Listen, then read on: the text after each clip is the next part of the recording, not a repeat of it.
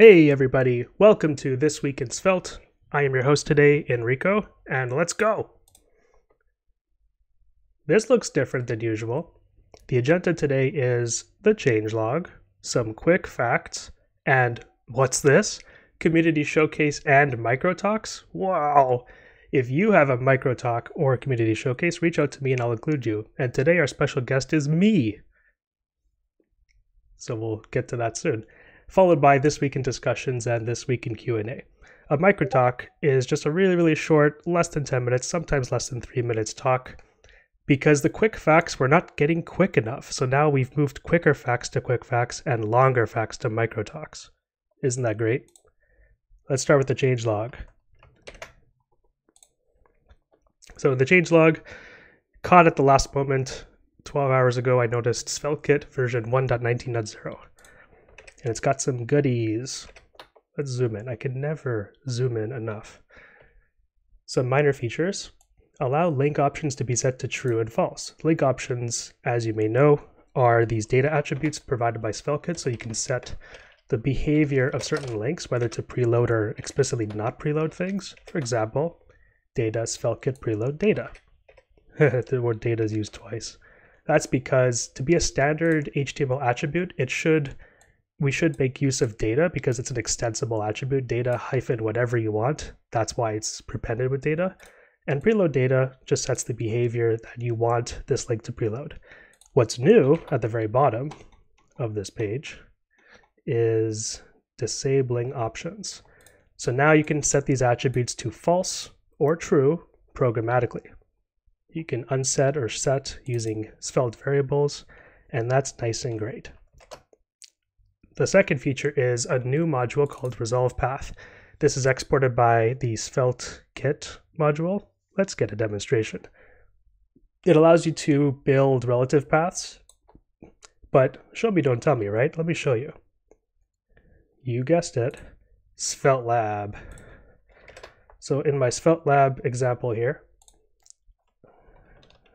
I have on line four, the new resolve path module. It's a named export from at svelte.js kit. And on line 6 and on line 12, I have two kinds of path I want to build. The first one is just a regular path. What you do is you enter a string, and you do this in the SvelteKit style, so the brackets indicate a dynamic path. You can also do rest paths with, with the three dots. But what you do is you pass in the string template as the first parameter, and the second parameter is a key matcher for those per, those params. So here in square in brackets, I have branch. I want this to insert the string main, and in ID, I want to insert the string ABC123. And on the rendered example to the right, you can see that resolves as slash main slash product slash ABC123. So if you need a, a convenient way to programmatically create links, such as for anchor links or go-to links, Resolve Path can help you get there. I actually rolled my own version of this a month ago for my personal projects because I needed to encode URI components. So hence the second example, other path. On line 14, I'm passing an encode URI component to a branch name that has a forward slash. I wanted to do this because, see, the rendered path is feature percent 2f, which is a URL encoded forward slash. This way, users can navigate to this path without erroneously entering a forward slash and going to a non-existing path. So this is helpful for me and my needs. And Cirilla writes probably more useful combined with the page store route.id. And I think that was its originally intended purpose. So if you use the page store route ID, you can also use the route ID for the path. And that's just a quick example from the changelog.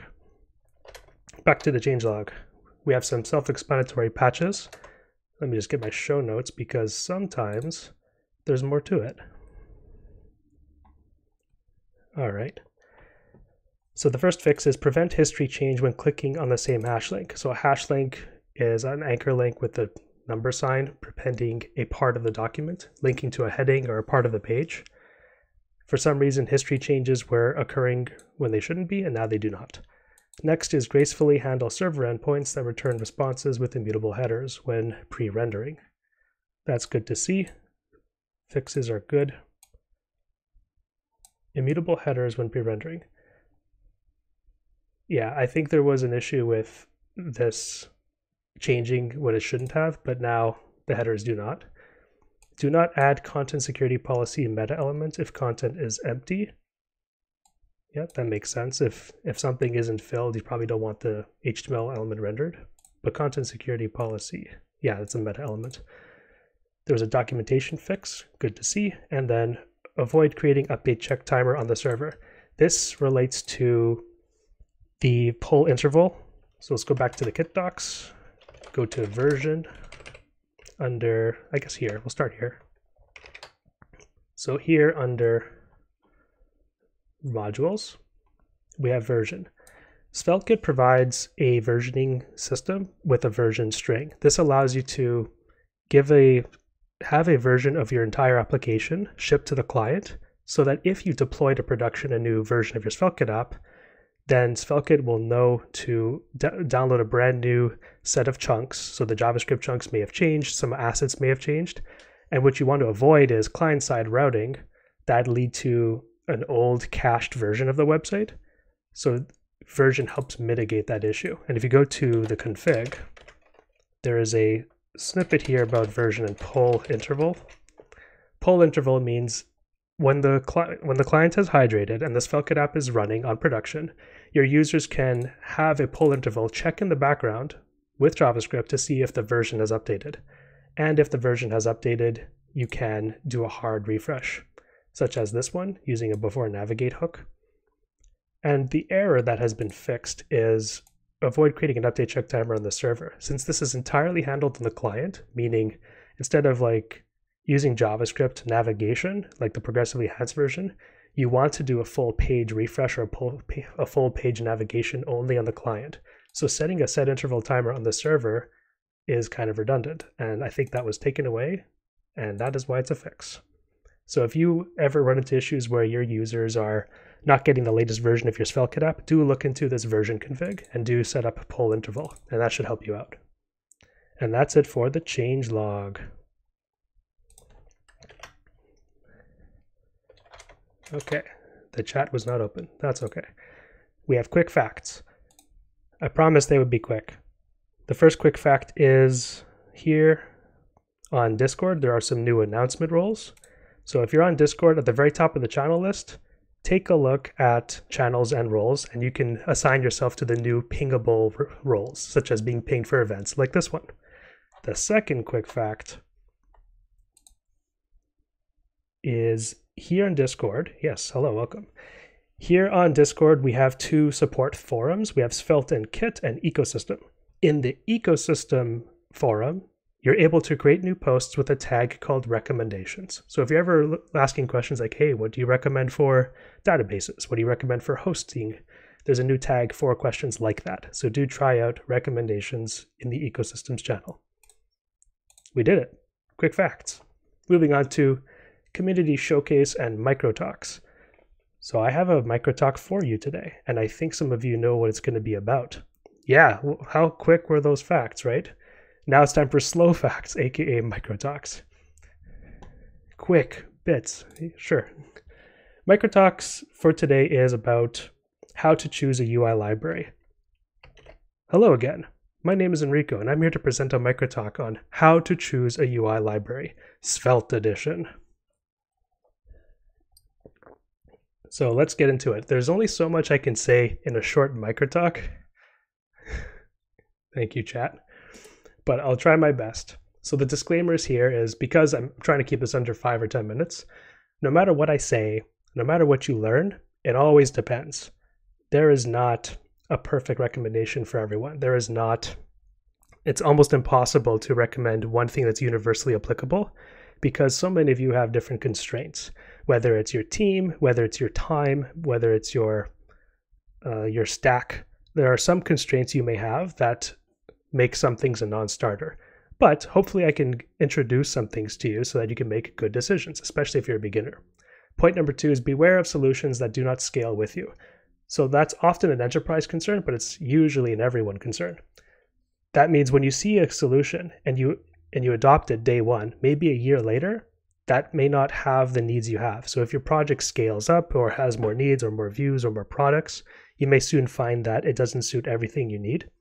And you either need to enhance it greatly or you have to change it completely. Number three, some terms used here are oversimplifications and evolve in meaning semi regularly. So the definitions and terms I introduced to you today may have a completely different meaning three months from now. So with that out of the way, today is May 26, 2023. Let's see how these terms pass on to three months from now. What are some of the kinds of UI libraries? First off, we have CSS utility frameworks, we have component libraries, and then we have headless UI libraries. I did mention a disclaimer that these are oversimplifications, but I'll do my best to introduce these to you all.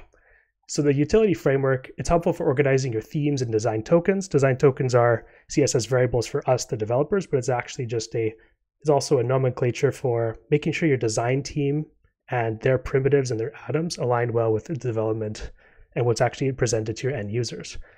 Two, it provides utility CSS classes. Some of you like that. It's very handy and reusable. And three, it's not technically a UI library, but it can be composed into one. There are exceptions, there are some versatile options, and I'll get into those examples too. Two, a component library. So a component library is a set of JS framework components, in our case, Svelte, Svelte components, and they account for markup, style, and interactivity. The somewhat complement to that is the headless UI library. And the headless UI library is a set of JS primitives to set up logic, state, and interactivity. They're not components. They're they're often especially not Svelte components. They do not provide styles. They do not provide HTML markup. A headless UI library are usually hooks or actions in Svelte to help you set up complex interactions like modals, like accordions, and multi-step forms. Let's talk more about these. So how do I choose a UI library? Number one, you have to ask yourself what sort of branding needs to be applied. Because if you take something like Material, that's fully branded by Google, or you take something something else like Shopify Polaris, and that's fully designed for Shopify and their clients. And if you need something much more flexible than that, then that's when uh, utility frameworks come in handy. The second question to ask yourself is how many interactive patterns do you require? Is it a document? Is it a blog? Are the interactions really minimal? Then you'll find yourself on the opposite end of the spectrum. And I'll show you that spectrum. So down here, I attempted to make a two-dimensional grid. Honestly, there should be four dimensions, but let's start with two, okay? Two dimensions. So on the y-axis top to bottom, we have more brand control, and on the bottom, less brand control. On the left and right, we have fewer interactive components, and on the right, more interactive components. So the left and right side is more about quantity. How many interactive components can a UI library give you? And then brand control is how headless or how unstyled is it? How much customization does it provide for you? On the top left, I've decided to put utility CSS frameworks there. It's got a lot of brand control. It's mostly utilities, but there's fewer interactive components. You, you will often not see a utility framework give you Svelte components or any components. You got to build them all yourself, but at least they give you a framework for building things in a manner that's sensible or opinionated. Somewhere around the middle, we have headless UIs. Headless UIs do come often with hooks such as such as Svelte hooks or the use action. Some of them also come with Svelte components too, and they're highly customizable. So you have a lot of brand control. You have a bunch more interactive components, but they do not help. They do not uh, primarily help you with tokens or things like scaling up or organizing your assets and primitives across a large team, like with designers and developers.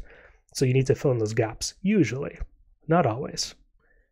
And then finally, component libraries, which I've I have sort of put alongside to the right. Component libraries often have a lot of interactive components. So an example of that is Carbon Components Svelte. They have more than 30 or 20 components, many, many, but you have a lot less brand control. They come with their own styles. Sometimes they have class selectors. Sometimes those class selectors aren't so selectable. So you have much less brand control in exchange for more components. Let's go into a flowchart. Wow. I wonder how legible this flowchart is. Apologies in advance. I, I tried to render these rectangles correctly. Some of them are truncated, but don't worry. Let's just go over this in broad strokes. This is probably what most of you are looking for, and I will share these in the chat later. How do you decide which UI library is right for you? And this flowchart is mostly to educate you on what questions to ask yourself The endpoints that I've highlighted in orange are not necessarily the right choices for you, but they do get you thinking about what kind of choices may be appropriate for you. So, for example, the first question is Do you need to apply your own brand or your own branding?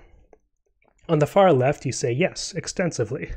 Do you require multi brand? Do you require theming? If yes, maybe you need a utility CSS framework, such as Tachyons Uno CSS Tailwind. If your needs are more complex than that and the utility framework is not enough, or you have scaling issues, maybe you need to integrate with your teams more. If they're so complicated that these tools cannot handle it, then usually you start with a utility library or roll your own. So the far left of the spectrum is like the very high scale, high enterprisey stuff. And sometimes you may need that. Now let's go all the way to the far right. Do you need to apply your own brand? No, or not really. Are your needs simple?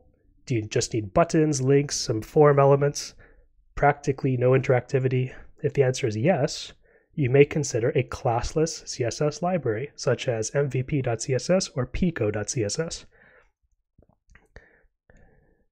So a classless CSS library lets you write HTML elements, apply no classes to them, and the library picks up the tags for you.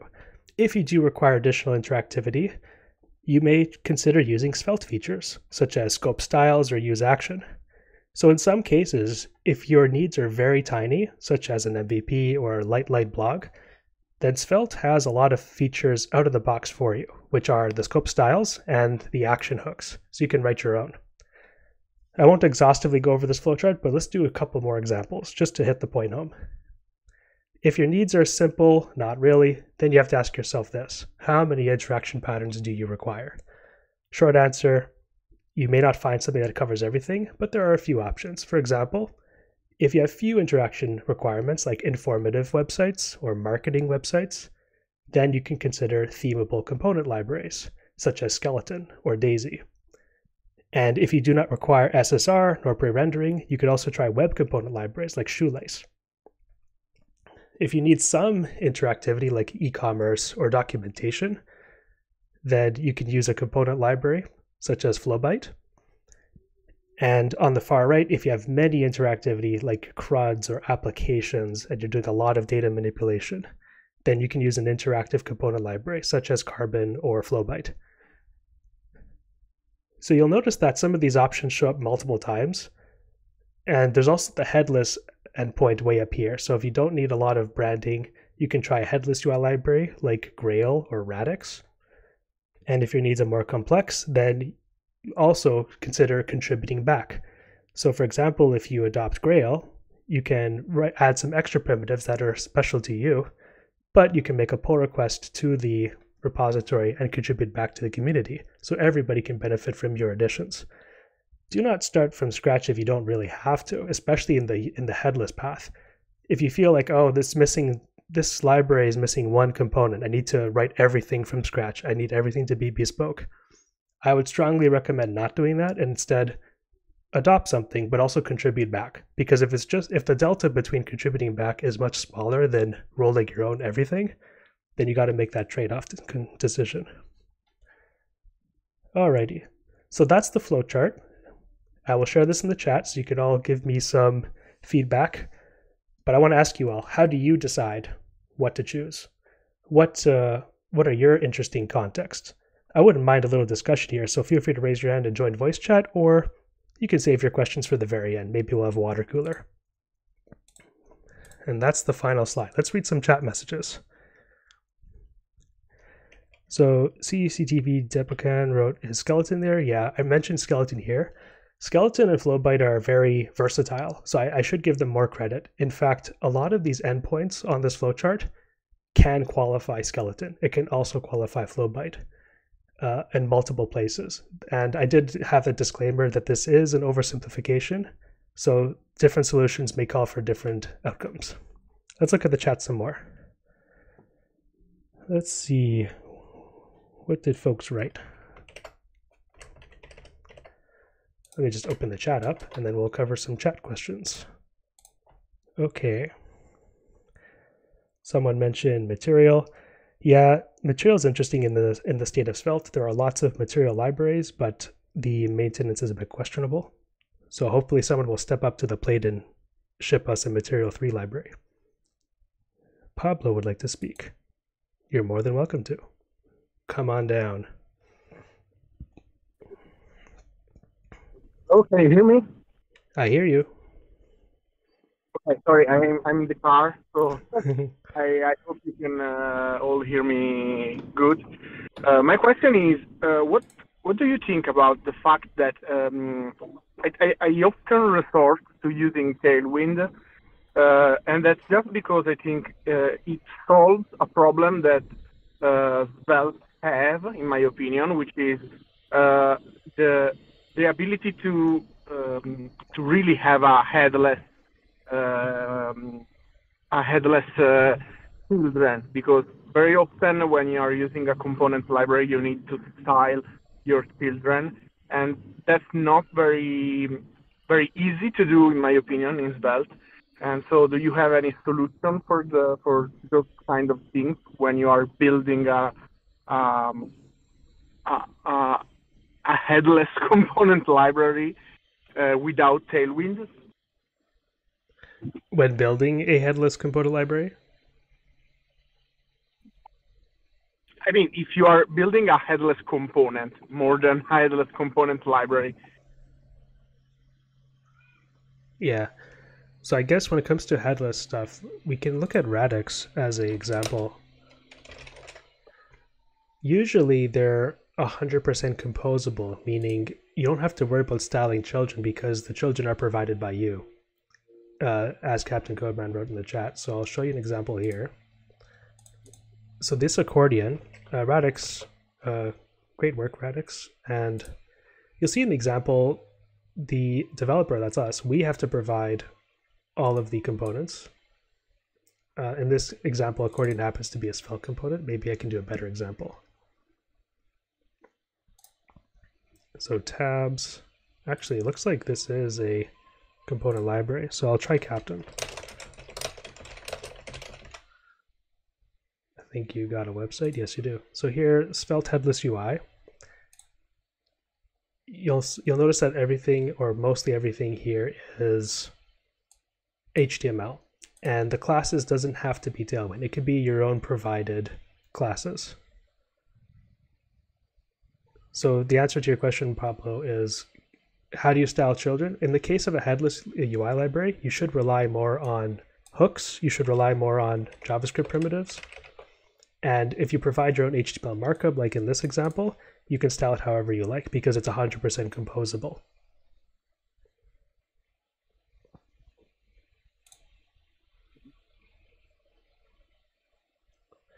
So another example is this modal or this dialog the dialog is instantiated here, and then you pass on the dialog functionality to this button, which calls dialog open, and then the state is also passed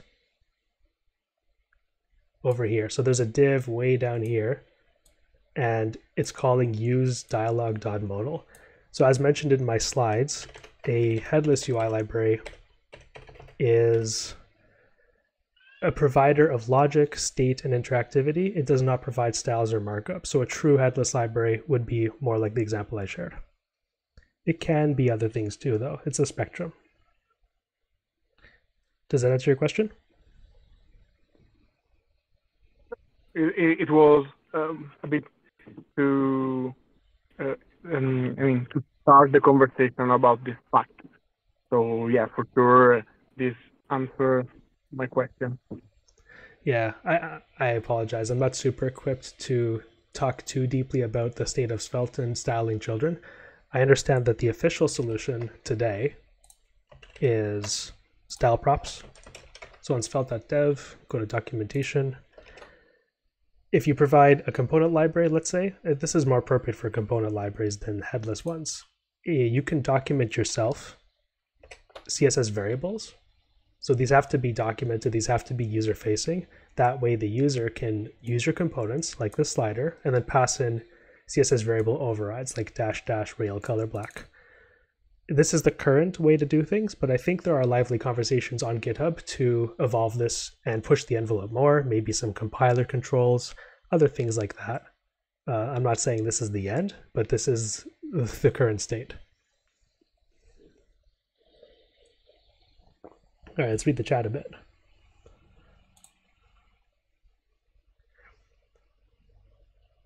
With the current state of Svelte ecosystem, I'm not looking for something finished or polished. I like the code to be readable and approachable and easy to contribute. Yes. Making repositories, especially component libraries, open to contributions is something that it takes a lot of work, takes a lot of hmm, synergy, so to speak. And this is something I'm also interested in in pursuing as a maintainer myself. It's good to train contributors, especially your regular contributors. It's good to train them, teach them the ways, show them what uh, considerations to make when approving pull requests. It's also good to write tests for your components and welcome more maintainers as well. So that way, with more people steering the ship, you can you can have a higher velocity and move things along quicker and accept even more contributions. CC writes, Daisy UI needs a lot to implement. I believe UI needs JS, otherwise incomplete. Tyler wrote, I'm a big fan of combination of the two, utility framework and headless UI. Yep. So Tyler, that's a good example of a highly flexible solution. And if you have the the bandwidth to implement your own branding, that is close to ideal. So it makes a lot of sense, and I'm sure it's a very agreeable take. If you're like me and you don't have a designer, so I guess I'll apply myself to this chart, shall I? And then we'll end the micro talk. So let me just minimize the chat. So personally, I don't really have to apply a brand. I'm, I'm building a CRUD. My needs are not simple. I have a lot of interactivity requirements. And so that led me down here on the right side of the flowchart. I'm building a CRUD. I need a lot of interactive components. And I'm okay to adopt some some styling and branding wholesale. So I went for Carbon in my case because I'm building a CRUD that's internal facing, not external nor public facing. It's just uh, internal to the company. And that works appropriately for me, but that doesn't mean it's the only solution for me. And that's the end of MicroTalks. Thank you, Pablo, for joining the stage. Feel free to jump up again if you like. All right, moving on. Uh, hang on, we have some more questions in the chat. So let me bring up the chat. Abide asks, do you have experience building libraries, perhaps in larger companies, the more complex scenario in the chart? Yeah, I have. I was actually a technical lead on a design system team at a telecom company in Canada. So I do have three years of experience building UI libraries. And it gets really complicated in a large company context because you're not just building for developers, you're also building for designers and end users. So at the very beginning of all of your takes and all of your planning and all of your tickets, you start with design and accessibility. Then you collaborate with designers and build the UI libraries. And we also faced several impasses, such as uh, how much of the styles can be overridden and that's an interesting story that I can save for another day. So enter, throw in some chat messages if you'd like to hear that in a future event. Moving on to this week in discussions. So in discussions, we have a few topics. We got, oh yeah, let's bring up the chat again prettier single quotes, double quotes, and international keyboard layouts. So this one was fun and interesting to me as a as a bilingual person, sort of. It's actually a bold claim to make. I like looking at international keyboard layouts just to see what that means, not just for people, but also for programmers. And I recently learned on Discord, folks were talking about Prettier and how it automatically changes apostrophes versus double quotes, some of which is configurable, some of which is annoying to some people, and I can see why. So, as for myself, I use the US QWERTY layout.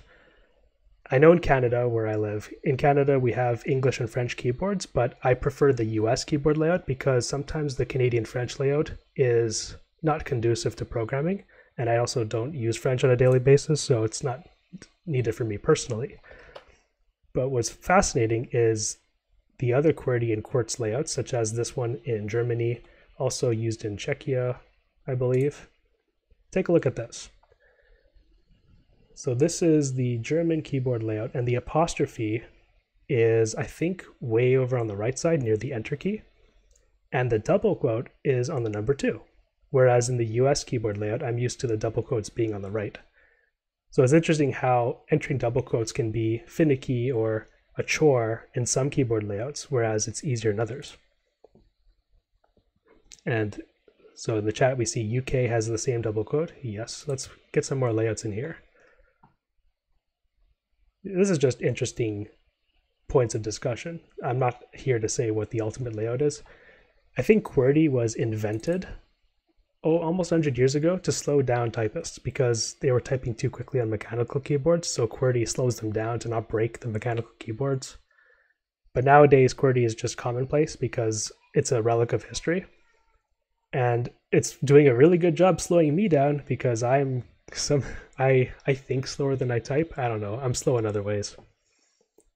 I can't find the US layout here. Maybe it's this one since software is by and large a Latin based language sphere, it does show bias towards the the ANSI keyboard layout that I have on my screen. So I'm trying to zoom in. I don't know if zooming in works on Discord, but there's the apostrophe, there's the double quote next to the enter button. Yeah, thank you, Hugos. So that's that. I know someone who I think grew up using the German layout, but they switched to the US layout just for programming reasons. And of course, there are also some really cool coders out there who use Vim, Emacs, and the Dvorak keyboard layout, and they type at 180 characters per minute. I can't even think at 20 characters per minute, but that's just me.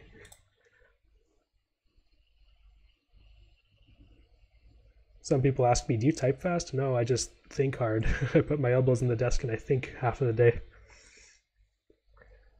The other discussion, yeah, typing speed is not um, extremely essential. Typing a little fast is helpful, like 60, 80 words per minute. That's decent. That's good enough. You don't need to be a speed star at 200 words per minute. Not totally necessary.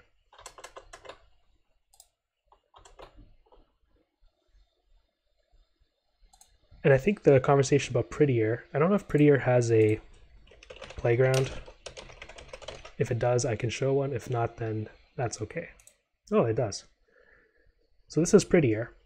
And I think Prettier has some opinions on correcting or changing the way quotes are displayed. Let's see if I can do a string. So const name equals person.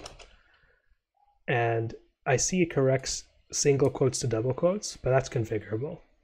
So where is it? Quote props, no semi? Not semicolons. Single quote. There we go. So if I enable single quote, see it, Brady, then my apostrophes remain as apostrophes. And if you use a keyboard layout where the double quote is on the number two, then this one may or not irritate you, but I want to hear from you personally. Like, does this cause problems? Do you prefer strings to always use apostrophes? It is what it is. Tyler writes, reducing hand motion is helpful. Yeah, repetitive stress injuries are real. Everyone, look into ergonomics. It's good for you. The biggest improvement I gotten was that remapping caps lock to additional programmable super keys, very accessible. By all means, do what's comfortable for you. I I am on board. Captain writes, I prefer single quotes in JavaScript, double in HTML attributes. That is close to standard. I think I'm not sure if this is a W3C spec, but I do believe HTML attributes should use double quotes. So it might be closer closer to spec rather than an opinion. So I'm, I'm in agreement. And yeah, prettier. It has configs. You all have keyboard layouts. That was the discussion. Hugo says, same single quotes, feel good until after write legacy. And of course, there's backticks. So if you're using string templates, you know you have no choice but to use backticks to do things like like that, where you need a JavaScript expression to be interpreted within dollar sign brace. More a better example is const uh, a person equals Rico, and then you can put the variable here. And in order for this to work, it has to be in backticks. At least for me, the backtick is one four finger reach away from the caps lock key. So that's good. Alrighty, I think the point has been made. Also in discussions, we have this interesting website that I think existed for a few years now, but it recently resurfaced, roadmap.shell. Yeah, the double svelte templates. I don't know if .sh literally means shell, but the TLD is roadmap.sh. So this is an interesting developer resource if you're looking into learning about a role, becoming a developer, or switching between two roles. Here, for example, is a roadmap for DevOps.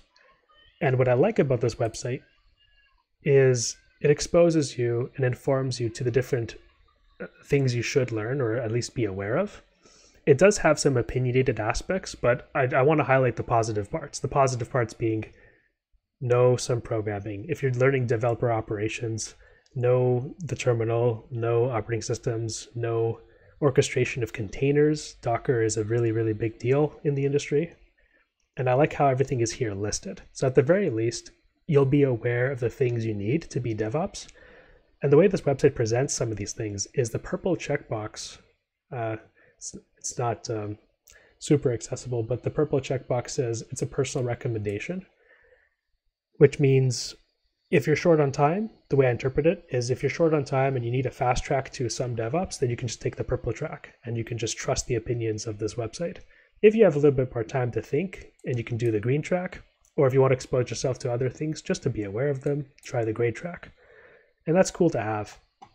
It's very opinionated in some ways. Like we're all a Svelte community, so front end is probably the most relevant to us. And in front end, there's a lot of boxes I wish the accessibility box was 20 times larger, but it is what it is. At least it's mentioned. And when you click on it, it shows you some resources. And I think that's very helpful. So at least it exposes you and makes you aware of these things so that you can go and learn them. It has a bit of a bias to React. So React, Remix, Next, and style components. You don't need to know CSS and JS if you're learning Svelte, uh, just FYI you can skip these altogether because Svelte has scope styles and does a lot for you. But other than that, yeah, these are great concepts to learn if you're getting new into front end. I forgot to share some links in the chat. Let's do that. So here's a link. And here's a link. And Svelte Lab, here's a link. All these links I'm flooding the chat with link previews. So many link previews. And I did promise you a flowchart. Here it is. This is the Choose Your UI library flowchart. And here are my slides. That's right, I am giving you my slides. Enjoy. All right, let's move on to this week in Q&A. So let's minimize the chat. This week in questions and answers. I forgot to load Visual Studio Code because this one is going to be a fun one. It's about debugging with breakpoints. As promised yesterday, I think I've cracked the code, so to speak. For the past several months, I've been searching for ways to do breakpoint debugging in Visual Studio Code, and I'm not 100% there yet. I don't think this, what I'm about to share with you, is not complete. The developer experience is not done, but it gets you very, very close. So I'll show you what I mean right now. Okie dokie.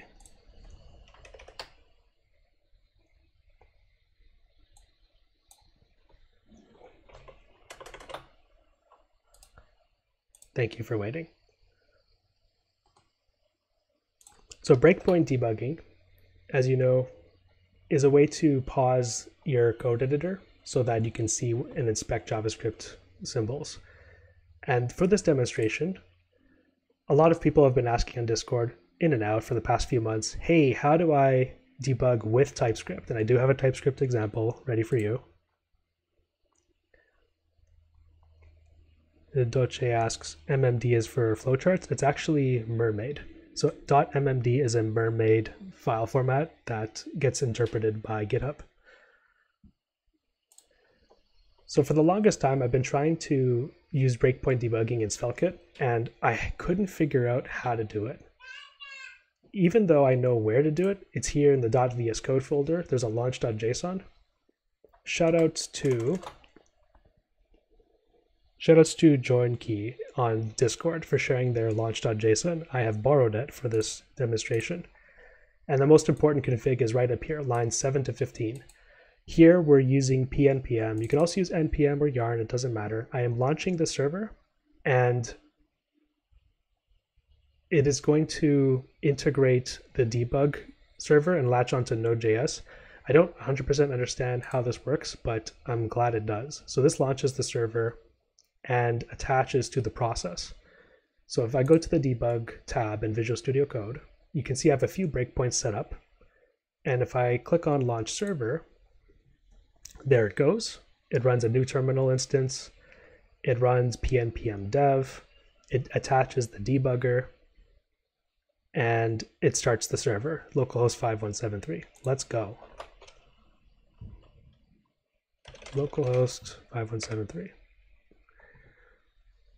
Okie doke. So down here in progressively enhanced form, I click on this page, and this is my dynamic form example from a few weeks back. What I'm going to do is I have a breakpoint right here in page.server.typescript, and when I click on the add pet form action, it should break here on line 5. So let's do that. I'll click on add pet name. Visual Studio Code sees this focus. It's on top of other windows. The breakpoint has activated. You can see by the yellow pentagon.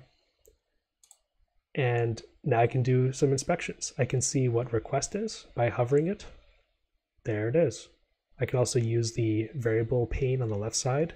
I can add some watchers and I have a full debugging experience here in Visual Studio Code. This works for, for now, for the sake of this demo, I can only show you backend code. So plus page.server.ts or JS, you can fully inspect backend code using the step through debugger. I couldn't quite get it to work with client-side Svelte code, but I did get it to work in the DevTools. Oh, I, I've seen the TS video format. So let's try front-end code. I'm going to continue the debugger, turn off this breakpoint, and on the page, I want to debug, let's say a handler or even this reactive statement. If I put a breakpoint on line 9, it doesn't quite trigger. There it is. So I, I pressed refresh on my page, and here the breakpoint does happen, but I think the only reason this happens is due to server-side rendering. So the reason this breakpoint has hit and only once, like I press play, it steps through, it's done, and the, the breakpoints are no longer stopped. I click on add or move pet. Nothing happens to the debugger. It no longer breaks because it only debugs server-side rendering. So anything that happens on the Node.js server will break here in Visual Studio Code. Now the question becomes, how do I do breakpoint debugging in Svelte? I want to do it. You can. Here's how you do it. You open the DevTools. I happen to be using Chromium, but I'm sure this works in other browsers, thanks to Vite and source maps. You go to Sources, and for this demonstration, we're going to go to a different page with a callback handler to this button. Go to Source, go to Routes, go to Loading Images, and then I'll zoom in a lot more. Hopefully it's legible. The way DevTools represents source maps is in italics. I know it's not a really clear indicator, but this plus page dot page.svelte, this here looks to me like compiled Svelte code, but this italics file plus page dot page.svelte is a source map. And I think to ensure the source map works is right here. So at the very bottom of the compiled file, you can see this forward slash forward slash source mapping URL, that relates to this italics file. So that way, when I put a breakpoint in the handler right here on line 17, and if I click on the example button, boom, the breakpoint has happened. We did it. We can debug Svelte code in our browsers client side using DevTools, using source maps, using TypeScript, I should add. So I think if you use lang equals ts, it will also work because the source maps doesn't really care too much about what language you're using. But there you have it. This is the endpoint. Now this question becomes, how did I get here? Can how do I adopt this in my project? Well, you need two things. One, you need the .vscode launch.json with this. My repository is open source. I will share the link in the chat. And the second thing you need is source maps to be enabled only for TypeScript. So under svelte config on line 14, if you're using TypeScript in your Svelte files, then you definitely need this enabled. I think for JavaScript, it's not necessary, but for TypeScript, it is. So on line 15, I wrote, if process env node env is development, turn on source maps, otherwise false. This is just a habit of mine. You can probably enable it all by default. I don't think SvelteKit ships server-side source maps to production. Either way, you should not be shipping any source maps to production. It's just a bit wasteful. So that's what this config represents. But the most important thing for you to remember is source map is true. And this will allow you to do client-side breakpoint debugging with Svelte files using the TypeScript language.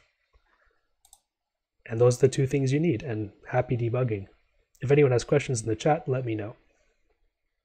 I'll share a link to the repository. So it's in my notes. And there you go. Let's go over some nuances. The first nuance is you may have inconsistent results using TypeScript, but it should work in Chrome DevTools as I showcased using the italics file selection here in the sources panel. The second nuance is don't enable production source map builds. builds. Server files can be stepped through in VS Code, so you can stay in VS Code for VS Code debugging for server-side logic only. And finally, using JavaScript in Svelte files can be stepped through as well. Patrick writes, Vite plugin true. Shouldn't this be Vite plugin inspector true? I think that's different. So Patrick is highlighting an interesting new feature from Vite plugin Svelte called the inspector. I did not prepare a demonstration of the inspector today. I need to practice with it first, but for your awareness, Vite plugin Svelte, which I'm sure most of us are using, if you're using Svelte with Vite, you're definitely using this there is a new inspector config, which will allow you to click on elements on a page and inspect the Svelte files. I'm not sure if it's all UI-based inspection or if it's also JavaScript inspection. So once I educate myself more, um, I may follow up in a coming week. But this is the inspector config that Patrick had mentioned. I'll link that in the chat. And there you have it. So yeah, this was not a showcase of the Vite plugin Svelte Inspector. This was just a showcase of source maps and breakpoint debugging, which is compatible with most Node.js applications. So this is just something that Node and the browser dev tools can just do. And it's been around for a few years, but it took me a while to get it working. And that is it for this week in Q&A.